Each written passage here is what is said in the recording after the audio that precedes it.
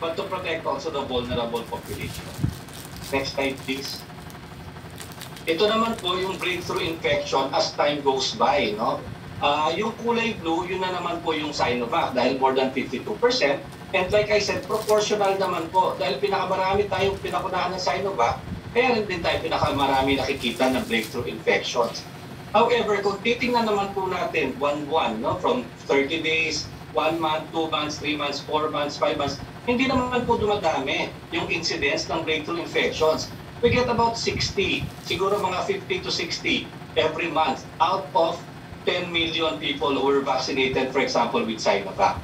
Sa AstraZeneca naman po, makita natin, buwan-buwan makakakita tayo ng mga 10 to 20 people getting uh, breakthrough infections, pero napakaliit naman po ng proportion ng kasi ng AstraZeneca na nabakunahan natin. Ano? Mga ano lamang po yun, 20% lamang yun, no? which is about 4 million. So proportional naman.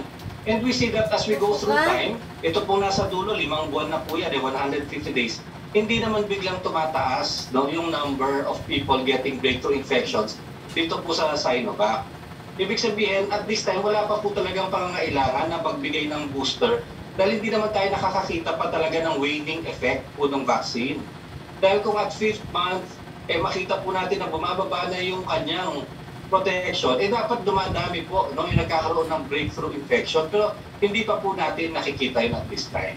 So I, I fully agree na at this time, there's no reason to believe that we need it immediately. No? Nakikita po natin hindi pa po nagbabago. Ngayon yung iba pong mga bars, yung orange, yung green, kaya hanggang dito lamang po sila muna sa kaliwa kasi hindi pa po umaabot sa 4th month and 5th month yung kanilang mga vaccination dahil later natin ginamit. Especially yung AstraZeneca, 12 weeks yung difference ng first and second dose. So yung mga fully vaccinated po niyan, talagang hanggang 3 months pa lamang sila to 4 months.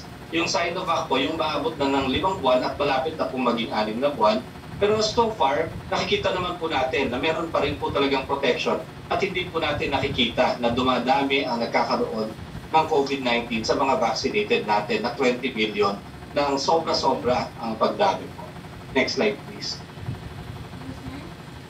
Ito po ngayon, kung po natin, simula po nang mag-vaccinate tayo ng March until end of September, actually out of the 2.5 million cases of COVID that we have, the majority of them occurred no, between March to September. Halos dalawang million po niyan. No? Uh, 80% ha happened itong March to September. Panahon din po kasi talaga yan ng Delta variant at saka ng po pagtaas ng cases natin. And there were 21,773 deaths since we started vaccinating until po makomplete natin. Next slide please. And just to show the proportion, yun pong uh, 20 million po na yun na nagkaroon ng COVID, pag divide po natin sa population man, it means that for every 10 million Filipinos, there were 177,993, no? 178,000 new cases of COVID for every 10 million Filipinos. Pero kung titingnan po natin yung mga nabakunahan, whether you are partially or fully vaccinated, for every 10 million Filipinos that were partially or fully vaccinated, eh 581 lamang po yung nag-report ng nagka-COVID. Doon naman po sa 20 million na fully vaccinated, for every 10 million of them, 254 lamang po yung nakita report sa amin, no? Nagkaroon sila ng COVID. Talagang napakalaking pagbaba naman po. Like I said, kahit po hindi complete ang reporting, kahit po meron mga hindi nagre-report dyan, eh kahit naman po i-times 10, i-times 100 po natin yan, no? makikita naman po natin talaga yung pattern that once people are vaccinated, the possibility of you getting COVID goes down. And it's the same po for the death. For the last March until September, for every 10 million Filipinos, meron pong halos 2,000, 1,962 na namatay from COVID. Pero yung po mga nag-report sa atin na namatay from COVID na vaccinated, eh 47 for every 10 million, no? At doon naman po sa fully vaccinated, FP pito po, ano, pito. Meaning for every 1 million Filipinos, less than 1 person, 0.7 deaths po tayo for the last, ano, for the last 6 months for the vaccinated people. So, like I said, I mean, the, the pattern is very clear. Kahit naman po sa times 10 natin, times 100 natin yan, talaga pong nababawasan ang pagkakataon, ang chance na magkaroon ng COVID at mamatay from COVID if a person is vaccinated. Next slide, please. So, yun po talaga until now, uh, the conclusion of course of the FDA as we monitor it regularly, uh, we see that the benefits of vaccination still don't definitely outweigh the risks. The vaccines are effective and are really very useful tools fighting the pandemic. Importante po talaga na i-complete ang dalawang recommended dose. Dahil nakikita po natin na pag nakompleto ang dose, mas lalo pa po talagang bumababa ang posibilidad na magka-COVID. Breakthrough infections can occur in a very small percentage of vaccinated individuals kahit fully vaccinated dahil wala po talagang 100% efficacy na vaccine. Kaya po kahit bakunado na tayo, we have to observe health protocols and remember that maximum protection sets in two weeks after the second shot. And when we do get COVID, kung breakthrough siya, talagang mas mataas pa rin po ang risk ng elderly population. Kaya kailangan ingatan po natin sila pero yun po, talagang magpabakuna pa rin po tayo, lalo na ngayon na araw-araw, milyon-milyon po yung dumarating natin ng mga supplies. Next slide, please. Yan lang po, Mr. President. Maraming salamat po. Honorable uh, Secretary Dizon, uh, last si Secretary, Secretary Moral. Um, Mr. President, um, wala naman pong masyadong i-report kundi sususugan lang po namin ni Secretary Galvez yung pong report ni Director General Eric na kailangan po talagang maintindihan ng lahat ng mga kababayan natin na kailangan po talaga nating magpabakuna. Ngayon po kasi, Mr. President, sa ibang mga areas, nakakaranas pa rin po tayo ng hesitancy o yung pag-aalinlangan ng ating mga kababayan.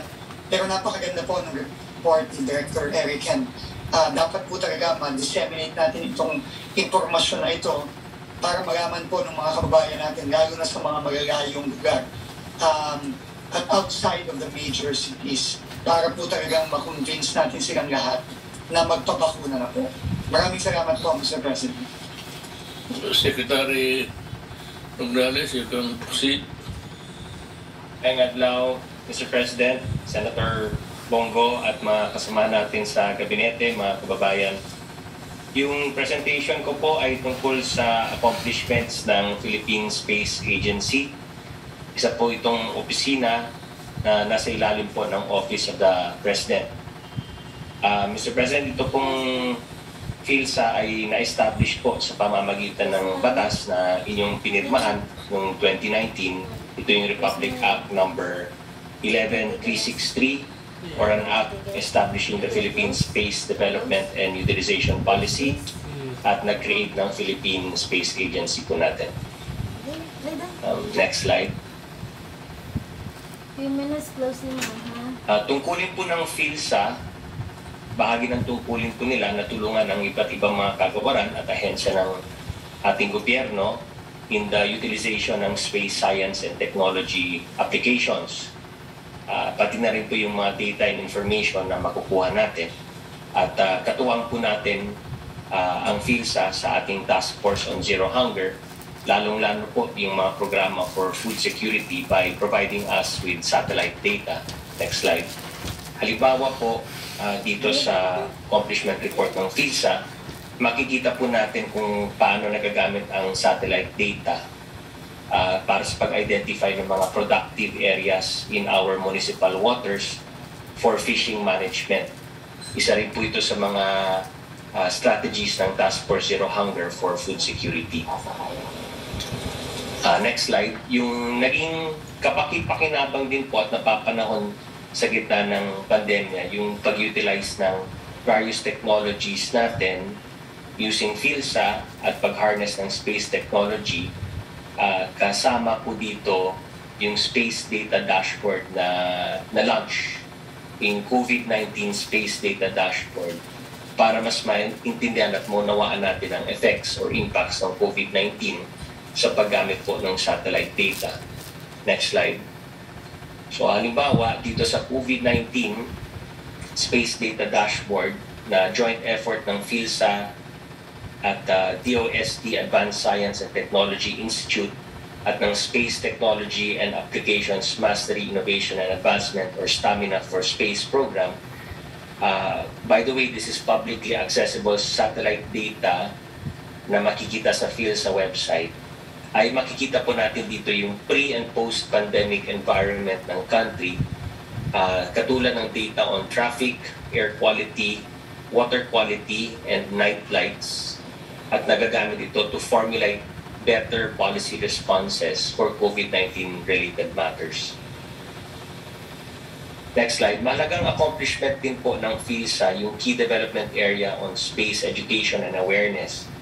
Halimbawa, providing capacity building for the Philippine Navy, our Air Force and Coast Guard. Ang pag-conduct ng mga webinars that are open to the public and yung scholarship program na nilaunch din po ng PhilSA. Ito po yung AD-ASTRA or Advanced Degrees for Accelerating Strategic Space R&D and Application Scholarship Program uh, kung saan uh, we encourage Filipino students to pursue postgraduate studies in space science, space industry, space diplomacy, space engineering, space law and policy, and space economics. Um, importante po ito for economic development post-pandemic and uh, training and support for our future generations of scientists and engineers para mas mapalawig pa natin ang kakayahan at maging kabahagi ng ibang uh, nations in the region sa pagpapalitan ng kaalaman. Next slide.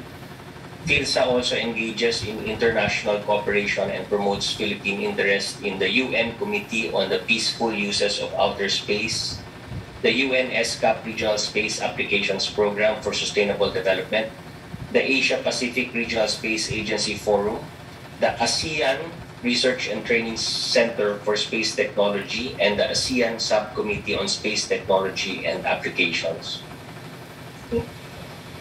Next slide. Sa larangan naman ng space research and development, ay uh, PhilSA has conducted a decadal survey. Uh, this is a 10-year plan that charts the nation's future in space through responsive and innovative missions. Uh, nag-develop din po ang PhilSA ng mula satellite